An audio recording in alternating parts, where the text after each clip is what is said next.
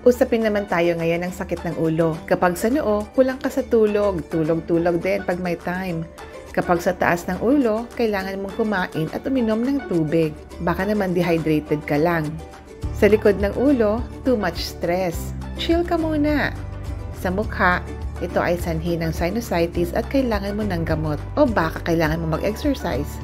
Paikot ng ulo, ito ay tension headache. Pahinga muna ng mga mata sa phone at gadgets. Kung ang sakit ay sa paligid ng isang mata lang, ito ay cluster headache kumonsulta agad sa iyong doktor.